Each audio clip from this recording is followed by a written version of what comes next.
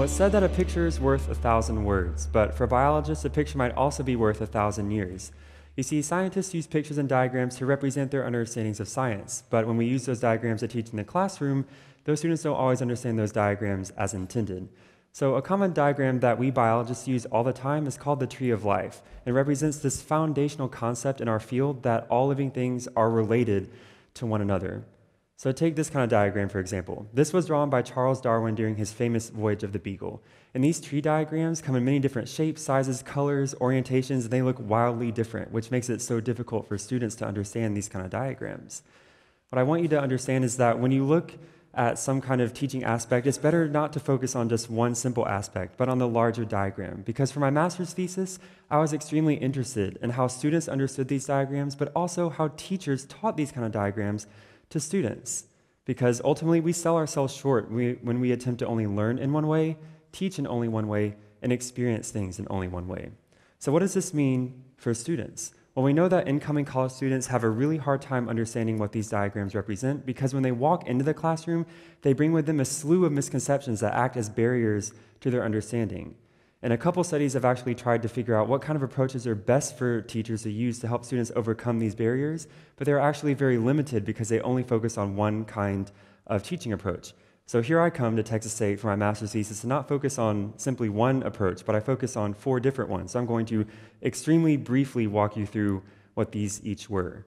So what I had first was no instruction. So students that didn't have any instruction about trees were considered my control group. Next, I had students that experienced some kind of implicit approach, which meant that they were exposed to these kind of diagrams in their textbooks and their lectures, but they were not explicitly taught by their teachers.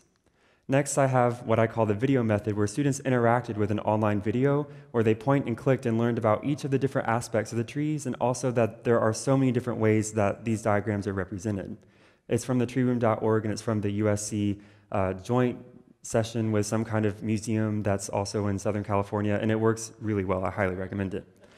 Um, next, I have this, what I call the manipulative model, uh, because students actually could take these different colored pipe cleaners and manipulate them with the hands-on tactile experience and bend them and shape them and twist them into any kind of orientation or style or shape that they wanted to. And last, I have what I call the extensive method, which is essentially a combination of the implicit, the video, and the manipulative model approach. And one of the findings from my thesis is that students that partook in this extensive approach actually had the highest learning outcomes statistically and significantly from any other individual outcome, which suggests to us that students learn better in diverse ways. But what does it mean for teachers? Well, we know that teachers were required to, that at least that taught in the extensive method, were required to teach this implicit video and manipulative model combination for you know, the next two weeks that they actually spent on teaching these diagrams. And it turns out that students actually, again, did have the highest learning outcomes, which again tells us that teachers should reach out or at least attempt to reach students in many different ways. And not only do I have a personal relationship with this uh, research because I actually did it, but I also have personal experience with this as a student myself in high school English, where we learned about rhetorical devices, and I hated it. It was the worst thing because I had no idea why we even bothered using them in the first place. My teacher got so upset trying to figure out why is he not getting this. But she actually sat down with me and tried a couple different approaches. One, rote memorization on flashcards, which didn't work. She tried sending me out of the classroom to find examples in different textbooks knowing she knew that they were there, but I didn't know, that didn't work as well.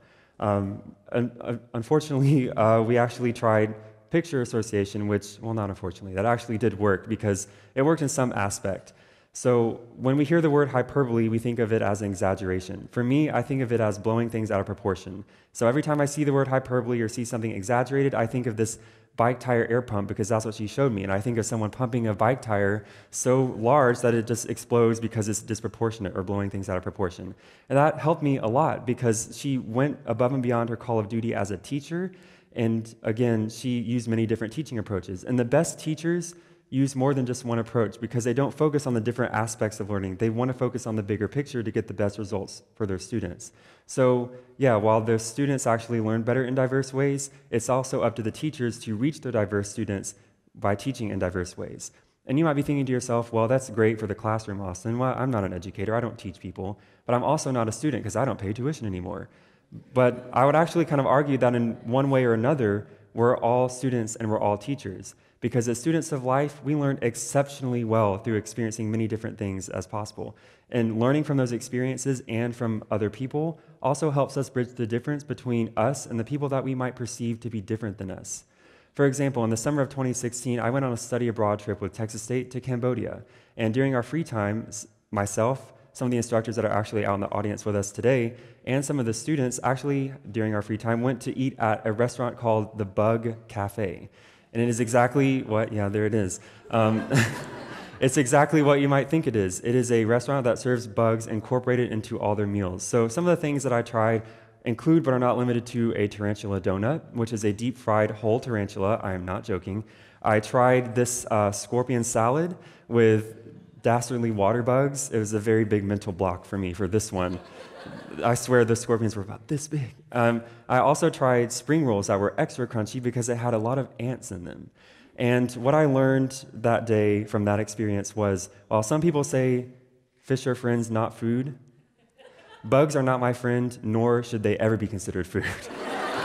but Essentially, I did find common ground with a man that owned the restaurant because he moved halfway across the world from Paris to Cambodia just simply to reach out and advocate that it's okay to include bugs in your diet, especially if you have dietary restrictions non GMO this or gluten free that. So it's okay for some people that have those things to eat bugs because they are a renewable source of protein. And while he thinks they might taste great, I don't think so.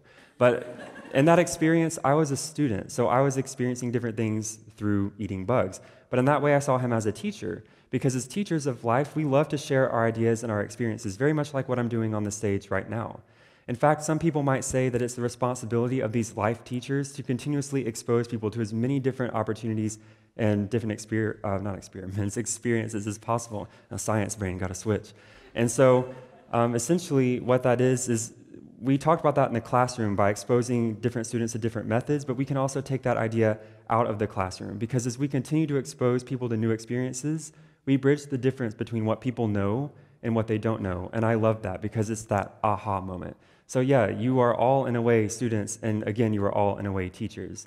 So, while the master's thesis that I worked on actually helps students understand those tree diagrams that I spoke about earlier, I think there's also a larger application into a much larger perspective about diverse experiences. So, again, while those diagrams represent to us how all things are related to each other biologically and represent biodiversity, I think that learning from the world around us and from other people around us helps us better understand the world around us, especially bridging those differences between what people know and what they don't know, and from people who we might perceive to be different than us. And this is a picture that is very near and dear to my heart because these are some of the Cambodian students that I helped teach how to teach biology in Cambodia, and that was a very long hike up to the very, very top of that mountain in that temple.